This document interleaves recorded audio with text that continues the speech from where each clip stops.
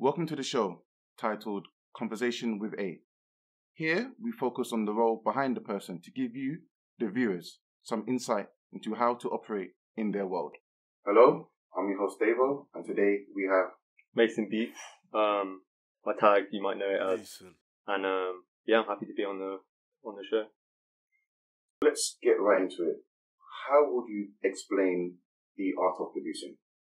I mean, I can't explain it for everyone because I guess it's different from person to person. But for me, it's the fact I can, from my bedroom, just on a laptop, I can create a song that's being heard by millions of people, or it's in the charts, and just from just myself in my bedroom. And to me, that's like the the art of it. I would say. But yeah. So, even though you produce across several genres, you're here today as a rap producer. Yeah. So, how would you explain the difference between a rap beat and a drill beat? I mean, I'd say there's a few differences in sort of the tempo of it. Because for drill, you're sort of around a 140 BPM, um, and you have a certain sort of pattern. If you can hear the drums, there's a certain pattern. Whereas with the rap beats, you're looking more traditional tempos, so like 90 BPM and more two-step sort of drums. And I think when you're listening, you can you can really feel the difference in just how it, the songs play out. You know what I mean? And obviously the content of what's being rapped is often different as well on the beats as well. So yeah. So, when did you decide you wanted to become a producer? I mean, over time, really. I mean, I started producing. My friend Joe, um, shout out to him. So he would make beats on his computer, and I'd see him doing it, and I thought, yeah, like, I, I want to try that out. So I'd go on his computer, made a couple things. Obviously, they weren't very good. Um, and then I got the demo for that software on my home computer. So I'd make stuff at home, but I couldn't save it. So what I'd do is I'd make it, take pictures of all the little stuff on the beat, and then I'd go back to his house and then like remake the beat, sort of thing. Um, but over time, I thought, right, I'm actually going to invest, get the proper software, and then from there, kept doing it. Obviously, I fell in love with it, and then before you know it, I reached a stage where I thought I'm actually good enough now that I can send beats to artists and actually get them on the beats. And then from there, it's all just, I mean, it's crazy now because I can. This is what I do now, and obviously, it's my the main thing I do. So yeah. So, your love for producing, that was a slow burn, was that just instantly you fell in love with it? instantly fell in love with it. To be honest, the minute I saw him doing it, I thought. Obviously, I've always loved music, um, but when I saw him do that, I thought because I played guitar as well before, but the fact you can, as a producer, you can do the whole lot. I mean, you can do a bit of everything. I thought that's just amazing. And from there, I was just hooked on it. So yeah, You mentioned you played gu- guitar. yeah. I used to Did you- play.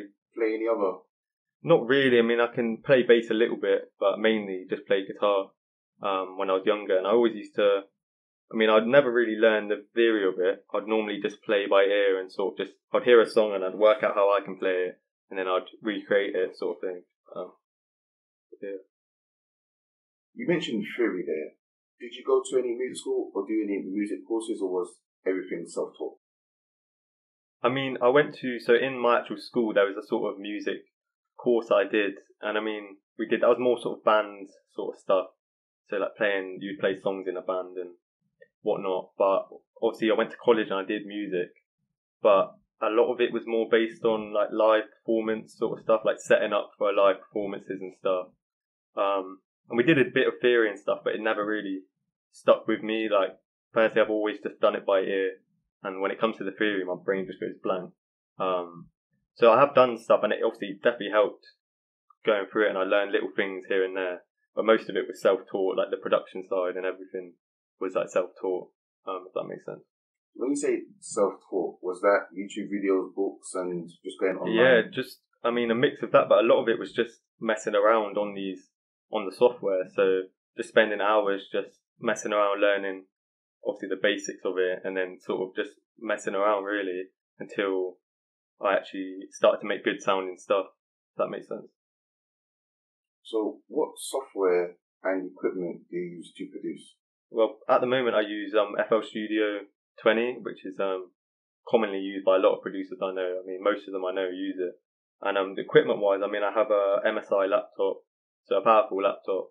Um, and that's it really. I mean, I've got speakers, um, and a pair of headphones, but that's that's pretty much it. That's all I really need to use at the moment for what I do. So yeah. What is the cost range we're looking at to invest in software and equipment? I mean, I'd say it's quite a lot. I mean, it depends because when you're just, I started off and got a relatively cheap laptop. Um, the software was around 150 pounds, I think. Um, the laptop was a few hundred, and um, and that was about it to start off with.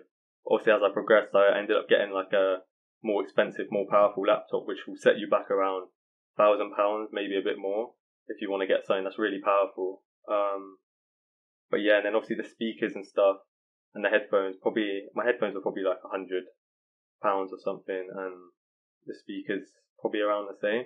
So nothing crazy, but obviously you do need to invest in a certain few things to be able to get going with it. So yeah. So how long have you been producing for? I mean, I sort of lose track, but I'd say a good since I started just messing around and making stuff, probably a good couple of years now.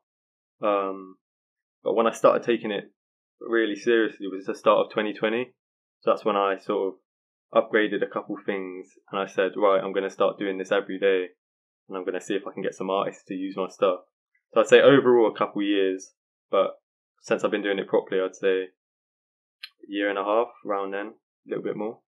So in that time frame, who are some of the artists you produced for? I mean, so far I've produced for, I mean, Fredo, um, all of the 98s, so Jimmy, DA, all of them, V9, um, I've got stuff with Swarmz, um, just to name a few, um, and some like some Irish artists, so Offica, and some other people as well. So yeah, good few people so far.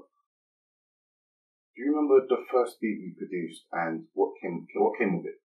I mean, the first beat I made nothing. I mean, it's probably just sitting on a hard drive somewhere, sort of sitting there. But one of the first beats I made in 2020, sort of when I started making drill, I remember I got some. I think these were artists from New York, some kind of smaller artists from New York, and I've sent it over. To, I was sending it to anyone I could. Um, I sent it over to them, and then they ended up doing a tune on it, and that was the first music video I ever saw on one of my beats, and that was one of my first drill beats. Yeah. So I'm just going to follow up on that last point. So in your uh, in the earlier stages of your career, how did you get um, your music in front of artists or to be seen by artists? I mean, I'm still trying to work it out. I'm still, I mean, I'm still trying to do that myself right now. But lots of ways. I mean, obviously, just try and message them on Instagram, say I've got some beats for you, or I'd send emails. Whenever an email would come up, like a public email, I'd send something um, to any email I could get, and obviously YouTube as well. So putting my beats on YouTube over time has really it's helped me a lot get loads of artists on my beats because you just get such a reach like seeing your beats on YouTube if that makes sense. So how about now? Do you produce a beat with a particular artist in mind, or do you just produce a beat and you see who selects it or chooses it? I mean, it's a, I'd say it's a mix of both because um, as I'm making it, I sort of start off with no idea, um, and then once I start making it, I start to have ideas of who I can hear in it or who I think would sound good on it. And then from there, when it's done, I can either send it to them or put, put it on YouTube as well as sort of their type beat. Um, so if it's like a, I did a Central Cee, like I do a lot of Central Cee type beats, so I put them up under Central Cee type beat if I think it sounds like something he would use. And then a lot of people like to use them sort of beats, so yeah. But it's normally I'd say drawing the beat that I decide that. So what about studio time? Do you ever just sit with an artist and create a song or project together? Yeah, yeah, quite a lot. I mean, whenever me and Tifo we go to a studio a lot together, and um, a lot of times the artists then we will play some beats and they might not be feeling it, so we normally end up having to make something like just sit there and make something in front of them to how they like it. So and it happens a lot of the time. So normally we'll we play some samples. If they like the sample, then we can lay down some drums, and they're there the whole process to make sure they like it as well. Um, but yeah, that's fairly often. Without giving us any numbers here, as a producer, how do you earn your income? Yeah, I mean it's a mix of things. I think as a producer, you've got a there's got to be a lot of different things because coming in, it's got to be multiple sort of revenue streams, and um, for me, obviously selling exclusives to the bigger artists. So when they decide they want to release a song, they pay the upfront for the exclusive, and then you also get the sort of back end PRS as well. But as well as that, the YouTube is another really good way because you can sell um, leases to the same beat. So you can sell the same beat, 30 leases to the same beat to loads of smaller artists all over the world. And so combining the two, um, sort of the exclusives with the artists I send to and the YouTube as well, is sort of the way I do it. So yeah, it's a mix of them. Are you able to explain what PRS is? I mean, PRS is sort of how you collect your, like, if it goes on the radio, Sony produces played in the radio, you obviously owed a little bit of money from every play that you get. So PRS collects all of that and then gets it to you, sort of thing. And um, same with the royalties. So if you've got a percentage of royalties on the song, um, PRS can collect all of that, and then that's so you can receive it. Yeah. These revenue splits with the artist or the record label, they're all done via a contract, right? Yeah. If an artist receives an award for a song you produce or an accolade, do you also receive that accolade as well? Yeah, so I've seen, and a lot of producers I know will have it. So let's say you're on a artist album, and that album goes on to go silver, gold, or platinum. You also get that as well. Like so, you can you get the plaque, you can get the plaque or whatever. Or if it hits a certain amount of views on, you can also receive. So it's obviously a good thing that um, the producers also get a sort of respect to be able to get it. Um, because yeah, so if a song goes plat, let's say tomorrow I produce a song that goes platinum, um, I'm entitled to all the sort of the plaques and all the same stuff as the artist is. Um, so yeah. You mentioned going to the studio to work on projects with Tifo, for example. Yeah. So when it comes to um, making collaborations with other producers, how does that work in terms of reaching out as well as working on the beat together? I mean, there's so many different ways you can do it. Um, and obviously reaching out, there's a huge community of producers, and we all sort of know of each other. We all work with each other, but like a lot of people make, um, there'll be producers who solely make samples. They make like melodies, so and they'll send it round to like other producers, and then like you can just take that melody, pull it in, add your drums, add your sort of lay out the beat, and then that's a collaboration that way. Or let's say when me and Tifo are working, because we'll be together a lot of the time, um, we'll sit there and make the melody from scratch together. We'll make it all just on one computer. We'll just add our bits sort of that way as well. So there's multiple different ways you can do it. Um, or you can even send a producer one of your projects. You can send it on email and then he can get in there and add his stuff. So there's loads of different ways you can do it. But yeah. Are you independent or are you part of a label? I mean, they're currently independent. Um, but I work with Bermuda. I'm managed by Bermuda Music, so they're who manage me and, and Tifo as well. Um, but they, they manage us and, um, but we're not under an actual label. We're not signed to a label as of right now. So when you say they manage you, what does that mean? Well, that means they're there. So, um, shout out Wiz. So he'll be doing anytime I like, I've got, let's say I get sent a contract from a label. He's on that. He knows exactly what to do. He does like, cause obviously I don't know about a lot of that stuff. And obviously it, all gets sorted sort of that way. And also, he can get us in the studio with loads of different artists as well, or he can he'll give us an email and say send beats here for like an artist, and then they'll get on the beat. So it's a mix of things, but he does loads of stuff. Where do you draw inspiration from when you're producing? I think lots of things really. I mean, also I listen to a lot of different sort of music, and so does my family and that. So I think one of the key things is just listening to loads of different sorts of music, different genres, um, and all of that will have little impacts in the stuff you're making as well.